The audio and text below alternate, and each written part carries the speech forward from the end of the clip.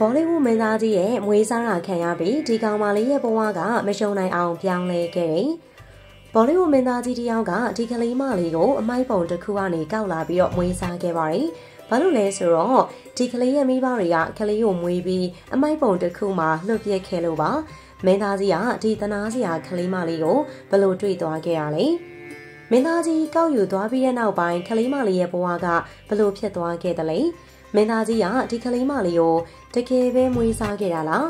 ဒီမိကုန်းတွေရဲ့အဖြေတွေကိုနားလည်ဖို့ဆိုရင်တော့မင်းသားကြီးကဘလို့လူလဲဆိုတာကိုအရှင်သိမှဖြစ်မှာပါသူကတော့မေသွန်ချက်ကရပူဒီဆိုတဲ့ဘောလိဝုဒ်မင်းသားကြီးတယောက်ပဲဖြစ်ပါတယ်မေသွန်ရဲ့ဘဝကလည်းဘောလိဝုဒ်ရုပ်ရှင်လိုပါပဲမထင်မှတ်ထားတာနဲ့ပြည့်နေနေခဲ့ပါတယ်သူကဆင်းရဲတဲ့မိသားစုမှာမွေးဖွားခဲ့တဲ့အတွက်သူ့ရဲ့ဘဝကအရန်ကုန်မှခက်ခဲခဲ့ပါတယ် သူဘလောက်ထိအောင်ခက်ခဲခဲ့လဲဆိုရင်တော့စားဖို့တောက်ဖို့တောင်နိုင်နိုင်ဖြစ်နေကြရပါတယ်။သူက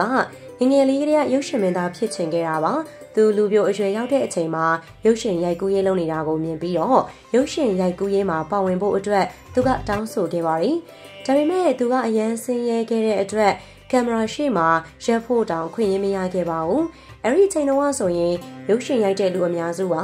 ချမ်းသာတဲ့မိသားစုကနေပဲလာကြတာဖြစ်ပါတယ်။ သူကအဲ့ဒီတုန်းကရိုက်ခွင့်မရခဲ့ပေမဲ့ကံကောင်းစွာနဲ့ပဲသူចောင်းသားဘဝမှာရုပ်ရှင်ကားတွေထဲမှာရိုက်ကူးခွင့်ရခဲ့ပါတယ်။သူဆက်ဆလာခြင်းတုန်းကအပိုလူအဖြစ်အခန်းနည်းနည်းလေးသာပါဝင်ခွင့်ရခဲ့ပါတယ်။အဲ့ဒီအချိန်တုန်းကဆိုရင်သူကပတ်စံလုံးဝမရခဲ့ပါဘူး။ဒါပေမဲ့တဖြည်းဖြည်းနဲ့ရိုးအကြီးကြီးတွေရလာပြီးတော့အခန်းတွေအများကြီးမှာတရုပ်ဆောင်ခွင့်ရလာခဲ့ပါတယ်။အဲဒီနောက်ပိုင်းသူလည်းတဖြည်းဖြည်းနဲ့ဝင်ငွေတွေပါရလာခဲ့ပြီးသူရဲ့တရုပ်ဆောင်မှုကြောင့်မင်းသားအခန်းမှာရိုက်ကူးဖို့အခွင့်အရေးရလာခဲ့ပါတယ်။အဲဒီအခွင့်အရေးကိုအသုံးချပြီးတဲ့နောက်မှာတော့သူ့ရဲ့ဘဝကလုံးဝကိုပြောင်းသွားခဲ့ပြီးတော့မင်းသားအခန်းဒီမှာရိုက်ကူးဖို့အခွင့်အရေးပို့ပြီးတော့ရလာခဲ့ပြီးသူလည်းရုပ်ရှင်မင်းသားတွေကတယောက်ဖြစ်လာခဲ့ပါတယ်။ မေသွန်ချက်ကရပူဒီကအခုဆိုရင်ရုပ်ရှင်ကားပေါင်း350လောက်မှာပါဝင်သရုပ်ဆောင်ခဲ့တဲ့အပြင်သူ့ရဲ့သရုပ်ဆောင်မှုကြောင့်လည်းစုတွေအများကြီးရပြီးတော့ Genius of Book War မှာဆိုရင်တော့မှတကယ်ကိုပဲအများကြီးရိုက်ကူးနိုင်တဲ့မင်းသားဆိုပြီးတော့စံချိန်တင်ခဲ့တာဖြစ်တယ်။ Genius Book War မှာရုပ်ရှင်အများကြီးရိုက်ကူးနိုင်တဲ့မင်းသားဆိုပြီးတကယ်ကိုစံချိန်တင်ခဲ့တဲ့သူပါ။အခုဆိုရင်သူကရုပ်ရှင်မင်းသားတယောက်သားမက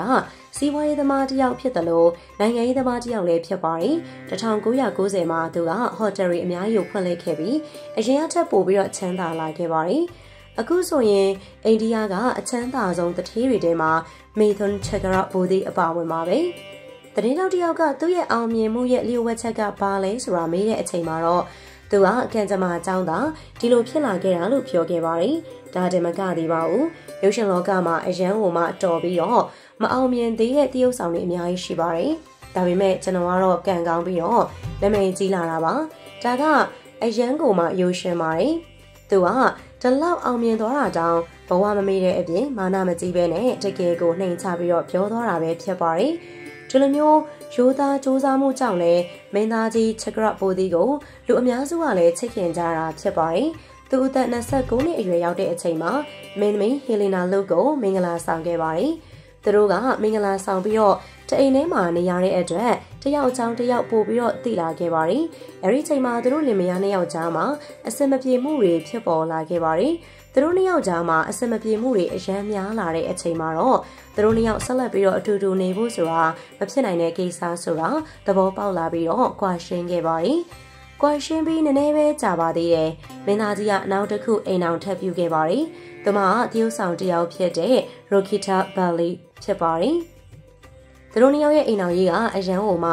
အဆင်ပြေခဲ့ပါတယ်။မကြပါဘူး။ယောက်ျားလေး၃ယောက်ကိုမွေးဖွားခဲ့ပါတယ်။သူတို့နှစ်ယောက်ကတယောက်ကိုတယောက်အရန်ချက်ကြပါတယ်။ဒီနေ့မနက်ပိုင်းမှာမင်းသားကြီးချက်ကရပိုဒီကပုံမှန်အတိုင်းပဲလမ်းလျှောက်နေခဲ့ပါတယ်။လမ်းလျှောက်နေတဲ့အချိန်မှာကလေးတယောက်ရဲ့ငိုတန်ကိုကြားခဲ့ရပါတယ်။ အဲဒီငိုတန်ရဲ့နောက်ကိုလိုက်တဲ့အချိန်မှာကလေးတယောက်ကိုတွေ့ခဲ့ပါတယ်။အဲဒီအချိန်သူအရန်စိတ်မကောင်းဖြစ်သွားပြီးတဲ့အပြင်တစ်ချိန်တည်းမှာပဲအရန်အံ့ဩသွားခဲ့ပါတယ်။ဘာလို့လဲဆိုတော့တယောက်ယောက်ကကလေးကိုနန်းစော်နေတဲ့အမိုက်ပုံတစ်ခုပေါ်မှာပြစ်သွားခဲ့တာပါ။ဒီလိုမျိုးအဖြစ်အပျက်တွေဟာအိန္ဒိယနိုင်ငံမှာခဏခဏဖြစ်လိမ့်ရှိပါသေးတယ်။ ကလေးကိုကြည့်ရတာညစ်ပတ်နေပြီးတော့လာပိုင်းလောက်ပဲရှိပါသေးတယ်။နောက်ပြီးတော်တော်လေးဟိုဆလောင်နေပုံလို့ရပါတယ်။မင်းသားကြီးချက်ကရပူဒီကအရန်ဟိုမှာစိတ်မကောင်းဖြစ်သွားပြီးအိမ်ကိုခေါ်သွားခဲ့ပါတယ်။သူမကငကိုတွေကသား၃ယောက်ရှိပါတယ်ဒါပေမဲ့သမီးလေးမရှိပါဘူး သူတို့မှသမီးလေးမွေးဖို့ဆိုတာကလည်းအိမ်မက်တစ်ခုလိုပါပဲကလေးကိုကြည့်ရတာတနာစရာလေးပါအဲဒါကြောင့်မို့လို့ချက်ဂရဘူဒီကအဲ့ဒီကလေးမလေးကိုမွေးစားဖို့အဆုံးဖြတ်ခဲ့ပါတယ်သူတို့တမိသားစုလုံးကကလေးမလေးကို Disney လို့နာမည်ပေးခဲ့ပြီးတော့ကလေးမလေးကိုသမီးအရင်လိုပဲသတ်မှတ်ခဲ့ပါတယ်။တဖြည်းဖြည်းနဲ့သူမကအမိုက်ပုံကတောင်ကောက်လာခဲ့ရဲဆိုတာမိသားစုဝင်တွေအကုန်လုံးကမေ့သွားခဲ့ပြီးတော့ မိဘတွေအပါအဝင်သား၃ယောက်ကပါကလေးမလေးကိုအရန်ချက်လာခဲ့ပါတယ်။ဘယ်လောက်ထိလဲဆိုရင်တော့သူမကတမိသားစုလုံးရဲ့အချစ်ခံရဆုံးသမီးလေးဖြစ်လာခဲ့ပါတယ်။ကလေးမလေးကအမိုက်ပုံထဲမှာစွန့်ပစ်ခံရတဲ့ဘဝကနေကောင်းကောင်းမွန်မွန်နေနိုင်တဲ့ဘဝတစ်ခုရောက်လာတာကလည်းကံကောင်းတယ်လို့ပြောလို့ရပါတယ်။သူမရဲ့မိဘအရင်က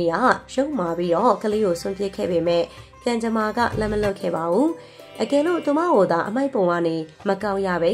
သူမရဲ့မိဘအရင်ကပြုစုခဲ့မယ်ဆိုရင်ဒီလိုဘဝမျိုးမှာနေထိုင်ရမှာမဟုတ်ပါဘူး။အခုတော့စစ်စစ်ရဲနေရမယ့်ဘဝကနေစိတ်ထားကောင်းတဲ့လူတစ်ယောက်နဲ့တွေ့ပြီးတော့ချမ်းသာကြွယ်ဝတဲ့ဘဝမှာနေထိုင်ရပါတယ်။သူမကတဖြည်းဖြည်းနဲ့ကြီးပြင်းလာတာနဲ့အမျှ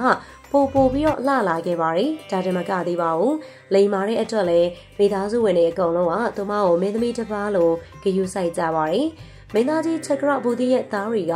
သူတို့ရဲ့အဖေလိုမျိုးရုပ်ရှင်မင်းသားလုပ်ခဲ့ပါတယ်။အဲဒီလိုမျိုးဒစ်နီးကလည်းသူမရဲ့အဖေလိုမျိုးတရုတ်ဆောင်ဖြစ်ချင်တာမို့လို့နယူးယောက်မြို့မှာတရုတ်ဆောင်ပညာကိုသင်ကြားခဲ့ပြီးတော့အဲ့ဒီမှာပဲပွဲယူခဲ့ပါတယ်။ဒစ်နီးက2019ခုနှစ်မှာ short film တစ်ခုမှာစတင်တရုတ်ဆောင်ခဲ့ပြီးတော့အဲ့ဒီ short film ကြောင့်လေသူမကနည်းနည်းလေးနာမည်ရလာခဲ့ပါတယ်။အဲ့ဒီ short film လေးကနေစခဲ့တဲ့ဇလန်က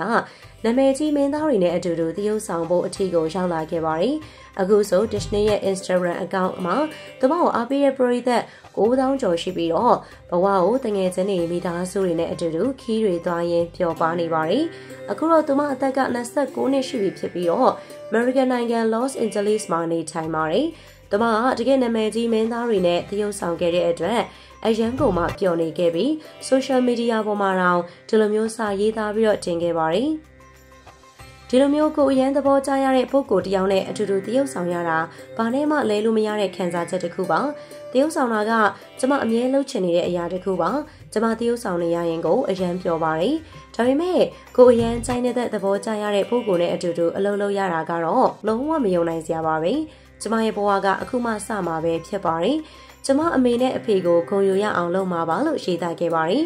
သူမရဲ့ဘဝမှာအချစ်ဆုံးကလည်းအဖေဖြစ်သူဖြစ်ပြီး Disney ကသူမရဲ့အဖေဖြစ်သူကိုအရန်ချစ်တဲ့အတွက်ကြောင့်လည်းနှစ်တိုင်းအဖေဖြစ်သူကိုမွေးနေ့လာတိုင်းမှာဘလောက်အထိချစ်လဲဆိုတာ social media မှာတင်ပြလေးရှိပါတယ်။အဲ့ဒီအခါတိုင်းမှာဒီလိုမျိုးပြောလေးရှိပါတယ်။ဒီကဘာမှာဖျားပေးခဲ့တဲ့အကောင်းဆုံးလက်ဆောင်ကတော့အဖေပဲဖြစ်ပါတယ်။အဖေကသမီးရဲ့တကယ်ဟီးရိုးပါပဲ။အဖေကိုသမီးပြောပြလို့မရအောင်ကိုချစ်ပါတယ်။စားတဲ့တန်ဖိုးရှိတဲ့စကားတွေအများကြီးနဲ့တင်ပြလေးရှိပါတယ်။ အကယ်လို့ Disney ကိုမင်းသားကြီး Chakra Bodhi ကလွန်ခဲ့တဲ့29နှစ်လောက်ကအမိုက်ပုံတွေကနေသာမကောက်လာခဲ့ရင်တော့ဒီလိုဘဝမျိုးရနေမှာမဟုတ်ပါဘူးဒီလိုလာဖားတဲ့အမျိုးသမီးတစ်ယောက်ကတစ်ချိန်တုန်းကအမိုက်ပုံကနေကောက်လာခဲ့တဲ့ကလေးလေးဆိုတာကတကယ်ကိုမယုံနိုင်စရာကိစ္စပဲဖြစ်ပါတယ်ဘောလီဝုဒ်မင်းသားကြီးမေသွန်းချက်ဂရဘူဒီကဒီလိုမျိုးအမိုက်ပုံကနေကောက်ရလာတဲ့ကလေးကိုသူ့ရဲ့သမီးလေးအရင်ပုံစံမျိုး လိုအပ်စရာမရှိအောင်ကိုပြုစုပြောင်းထောင်ခဲ့တာကလည်းတကယ်ကိုမှလေးစားစရာကိစ္စပဲဖြစ်ပါတယ်။သူ့ရဲ့စိတ်ထားကောင်းမှုကြောင့်လည်းပရိသတ်တရားပို့ပြီးတော့ချစ်ကြတာပါ။အကယ်လို့တင်ကောကလေးတယောက်ယောက်ကိုကောက်ရခဲ့တယ်ဆိုရင်ဘာလို့မလဲ။အဲ့ဒီကလေးကိုမွေးစားမှာလား။ဒါမှမဟုတ်ရဲစခန့်ကိုပို့မှာလား။ဘောလိဝုဒ်မင်းသားကြီးမေသွန်းချက်ဂရဘူတီနဲ့ပတ်သက်ပြီးတော့ပရိသတ်ကြီးရောဘယ်လိုထင်ပါသလဲ။ပရိသတ်ကြီးရဲ့အမြင်ကို comment လေးထဲမှာဝင်ရောက်ပြီးတော့ရေးသားပေးပါဦး။ အဆုံးထိကြည့်ရှုပေးတဲ့အတွက်လည်းတယောက်ချင်းစီတိုင်းကိုအထူးပဲကျေးဇူးတင်ရှိပါတယ်ရှင်။